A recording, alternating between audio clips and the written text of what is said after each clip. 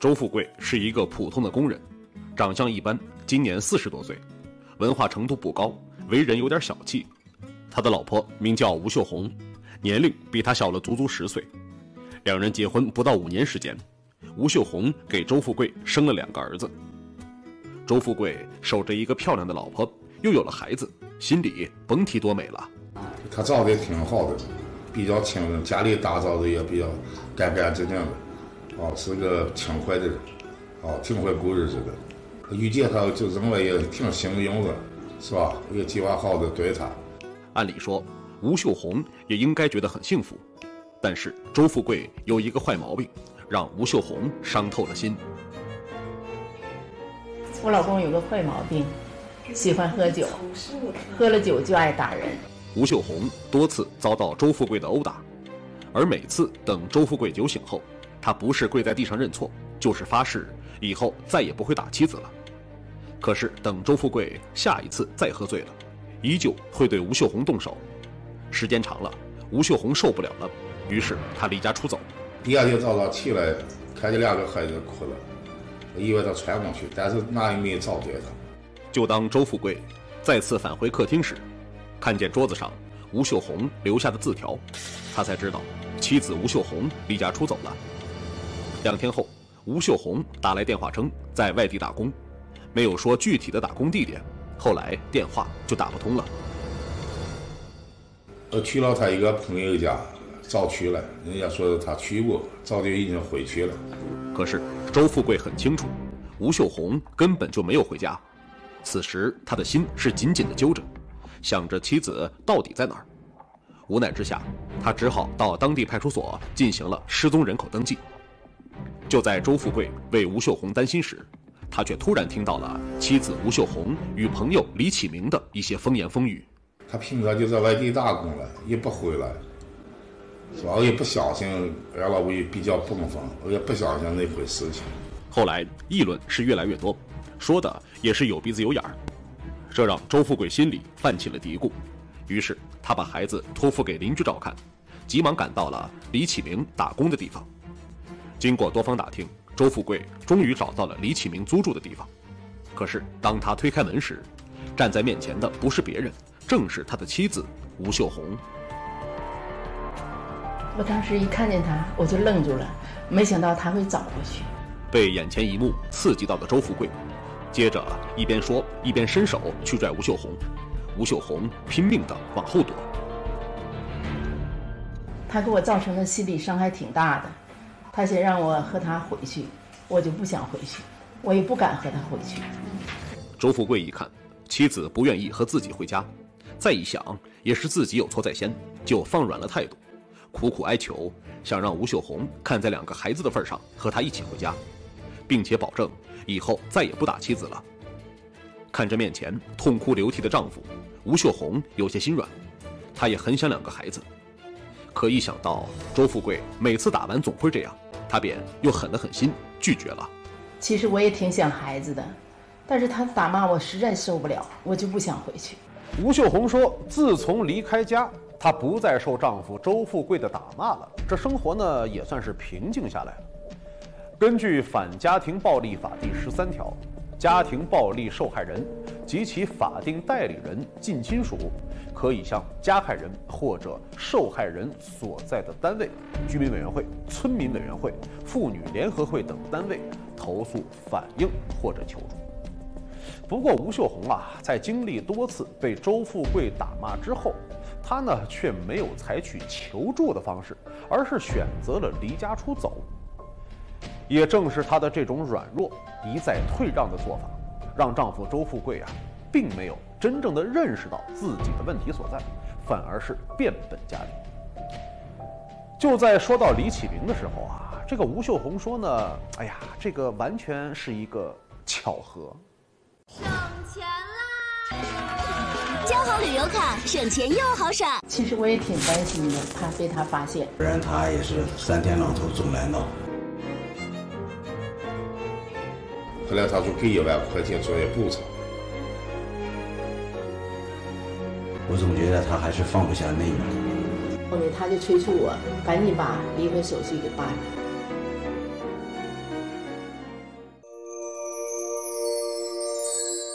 即日起至十月三十一号凡患腰椎间盘突出的患者持县级以上腰突击打病例证明到指定药店去报名。将会有机会免费获得价值三百九十九元的爱腰礼包。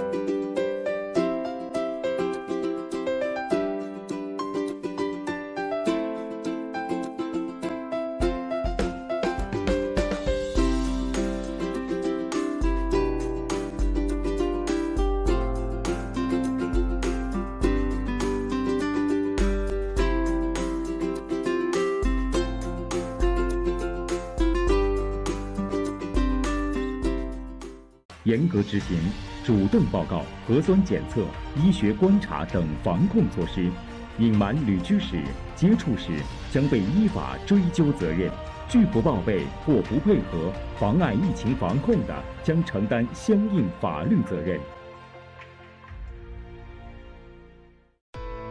严格执行主动报告、核酸检测、医学观察等防控措施，隐瞒旅居史、接触史将被依法追究责任；拒不报备或不配合、妨碍疫情防控的，将承担相应法律责任。舒筋健腰丸专药专治腰椎间盘突出引发的腰疼、腿疼。消防员是英雄，也是普通人。只要我们每个人都重视消防安全，及时消除身边的火灾隐患，让危险不再发生，你就是消防英雄。我是印小天，我为消防代言。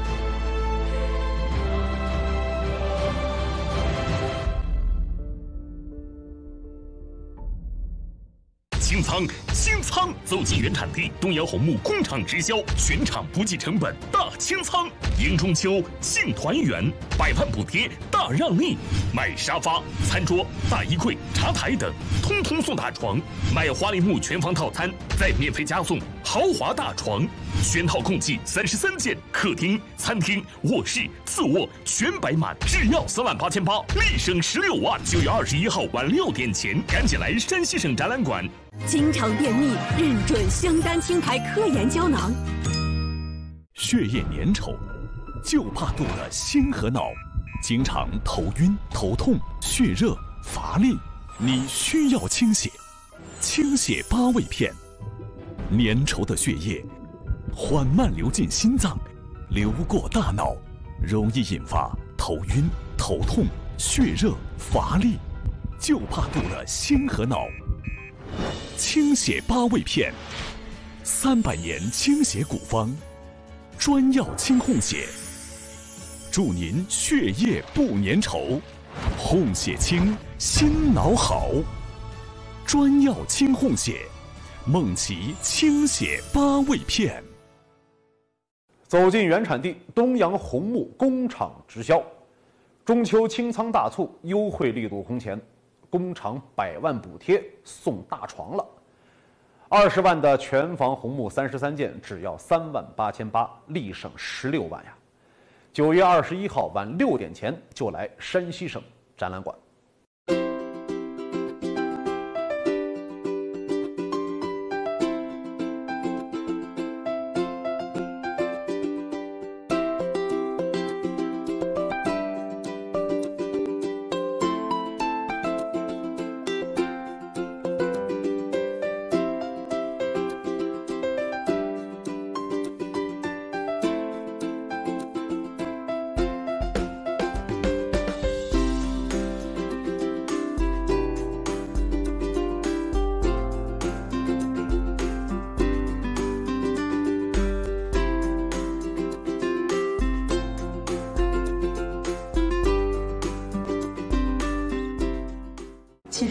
担心的，怕被他发现。不然他也是三天两头总来闹。后来他说给一万块钱作为补偿，我总觉得他还是放不下那个。后面他就催促我赶紧把离婚手续给办了。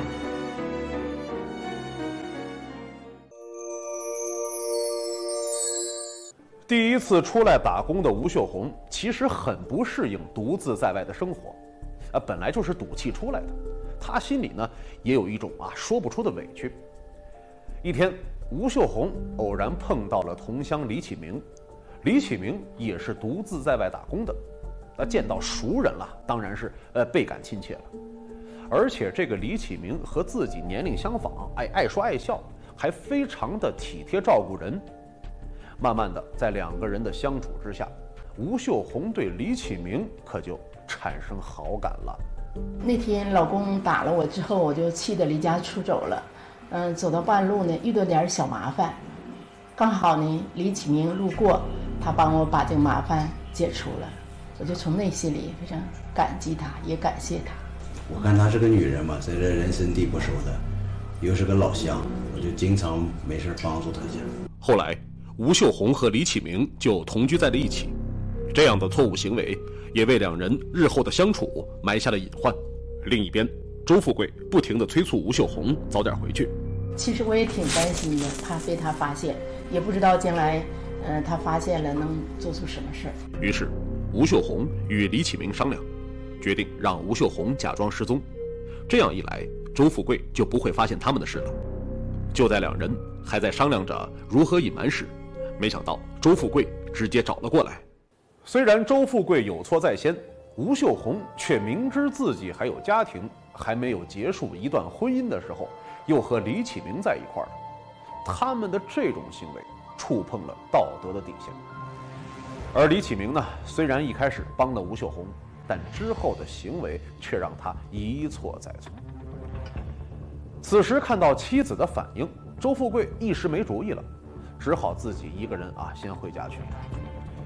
无计可施的他独自喝着闷酒，想到妻子吴秀红对自己那个决绝的态度，再加上如今这个冷冷清清的家，他把这一切啊都算在李启明的头上。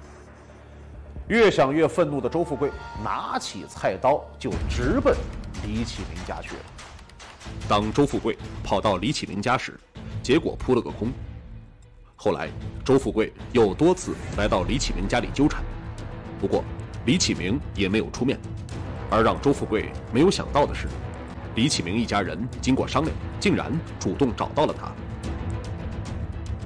既然他已经知道了，我想这事儿反正也总得解决。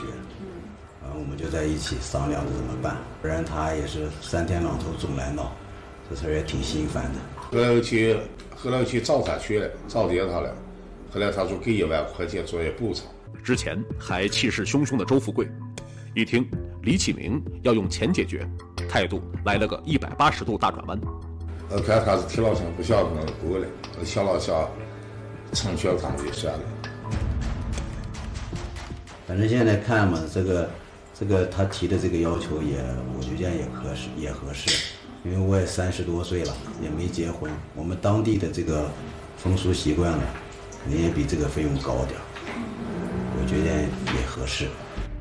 此时的周富贵和李启明两个人完全忘了，他们的行为是违法的，更是违背了社会公序良俗。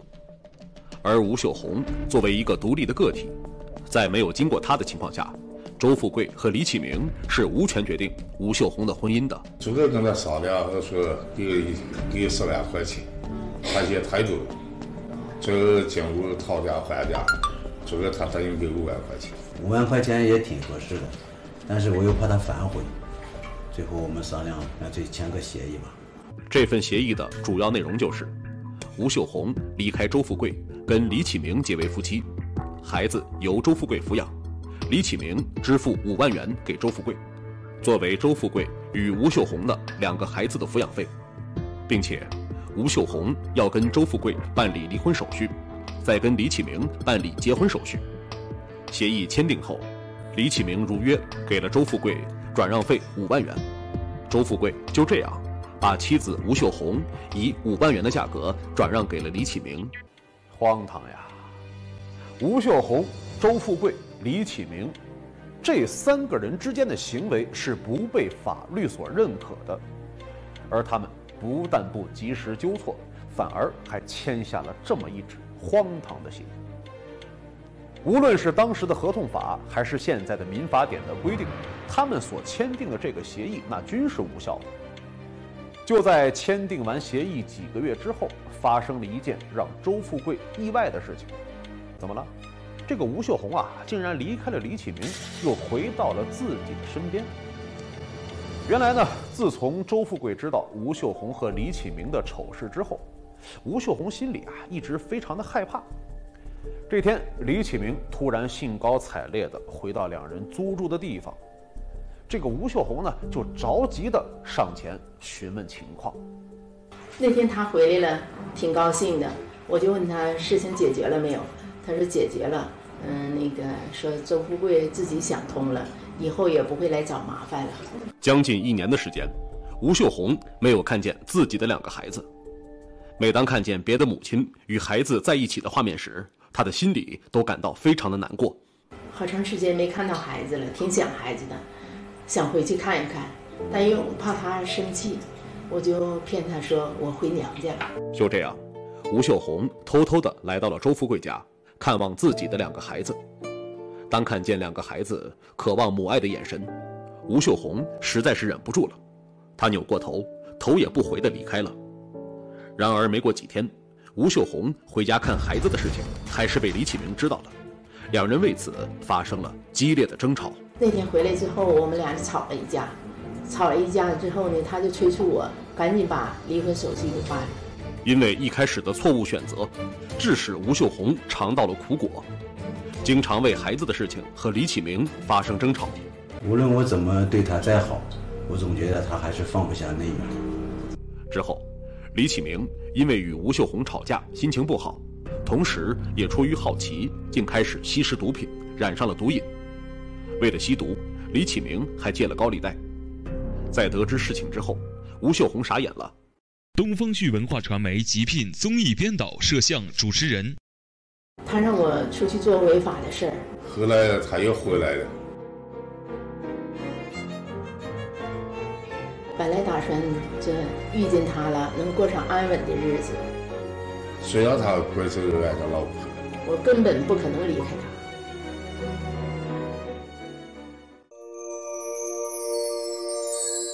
瓜果蔬菜。没少吃，没少吃。作息运动都规律，都规律。为啥还便秘呀？为啥？这多是肠道干涩、肠动力不足。试试香丹清牌科研胶囊，一果一叶一黄芪，增加肠润滑，增强肠动力。肠润滑，有动力。经常便秘，认准香丹清，专注肠道健康十九年。传承中华瑰宝，弘扬中药文化，关爱您的腰椎间盘。山西广播电视台携手陈李济舒筋健腰丸及爱腰公益联盟企业，共同发起中医药腰椎健康节公益活动。相信中医药的力量。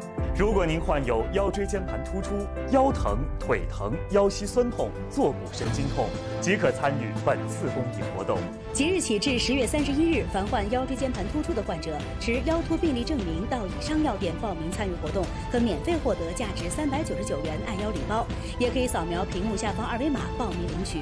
咨询电话：零三五幺四幺二三二三三。呵护您的腰椎间盘健康，我们一直在行动。血液粘稠，就怕堵了心和脑，经常头晕、头痛、血热、乏力，你需要清血。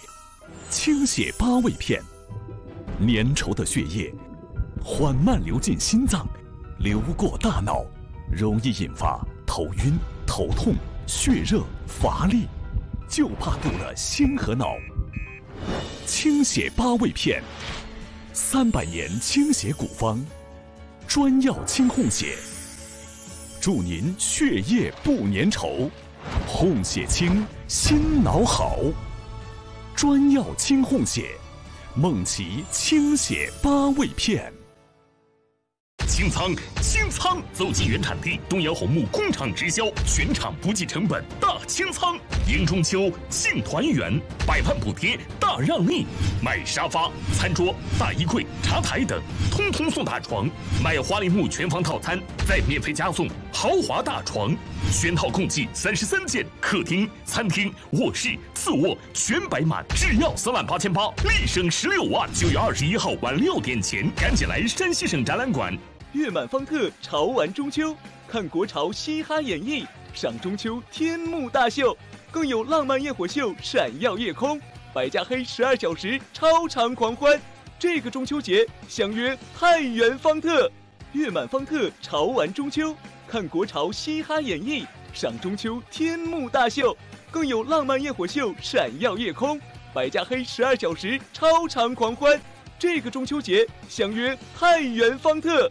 走进原产地东阳红木工厂直销，中秋清仓大促优惠力度空前，工厂百万补贴送大床了，二十万的全房红木三十三件只要三万八千八，立省十六万呀！九月二十一号晚六点前就来山西省展览馆。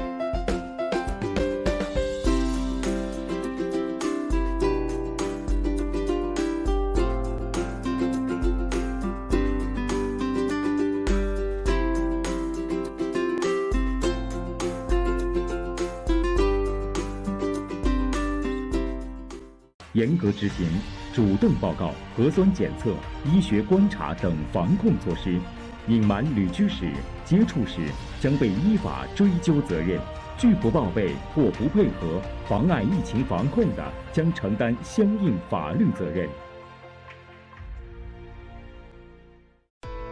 严格执行主动报告、核酸检测、医学观察等防控措施，隐瞒旅居史、接触史将被依法追究责任；拒不报备或不配合、妨碍疫情防控的，将承担相应法律责任。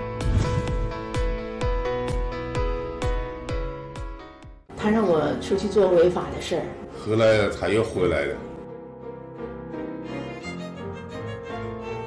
本来打算这遇见他了，能过上安稳的日子，谁让他怪这个爱他老婆？我根本不可能离开他。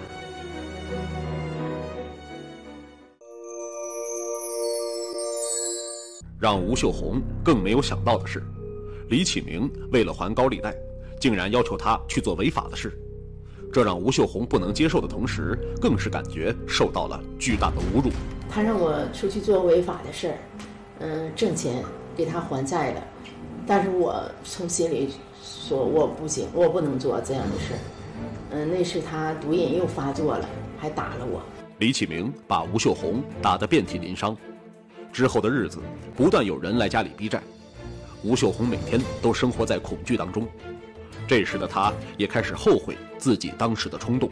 在我很小的时候，父母就去世了，我跟着哥哥一起生活，本来打算这遇见他了，能过上安稳的日子，没想到现在是这样。违背了道德的做法，最终让吴秀红也受到了惩罚。现在的她也是后悔万分。其实想想吧，周富贵也挺好的，还有两个孩子，我还是想回去。就这样，吴秀红背着李启明，偷偷的回到了周富贵身边。吴秀红的突然回来，周富贵也非常吃惊。后来他又回来了，我心里挺高兴的，还给了五百块钱，啊，我觉得挺不错。吴秀红走了，自己的钱也没了，这让李启明急红了眼，拿着当时签的协议来找周富贵要钱。这个时候我才知道，他们把我当做商品转来转去，太气人了。后来，李启明将周富贵和吴秀红告上了法庭，要求周富贵退回自己的五万元钱，并赔偿自己经济损失五千元。此时的李启明忘了，一开始在他明知道吴秀红和周富贵是夫妻时，还选择和吴秀红在一起，已经违反了婚姻法。后来和周富贵签订的所谓转让协议，更是违反了婚姻法禁止其他干涉婚姻自由的行为。虽然他归是俺家老婆，是吧？当时找他也不止花了花了这两个钱，他现在跟我要钱，呃，可能不能给他。